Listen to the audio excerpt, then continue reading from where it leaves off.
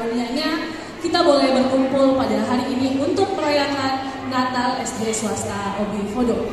Berhubung kita sudah di penghujung acara Bapak Ibu, kami ucapkan terima kasih kepada seluruh orang tua dan undangan yang sudah berkenan hadir untuk acara Natal hari ini.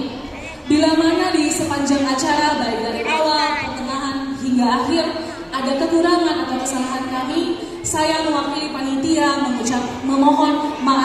sebesar-besarnya. Adapun beberapa pengumuman yang uh, perlu kita perhatikan Bapak Ibu. Yang pertama, pembagian rapor akan dilaksanakan pada tanggal 27 Desember 2021. Ini bersamaan dengan TKOB juga.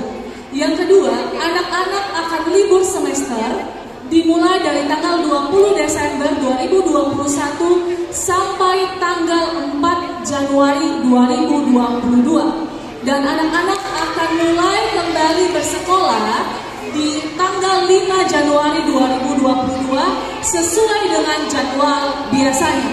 Dan eh, tanggal 5 ini hari Rabu ya Bapak Ibu. Biasanya anak shift 1 itu masuk pagi dan anak shift 2 itu masuk siang. Namun bila ada perubahan, kami akan informasikan kembali di grup WhatsApp orang tua. Demikian saja yang bisa saya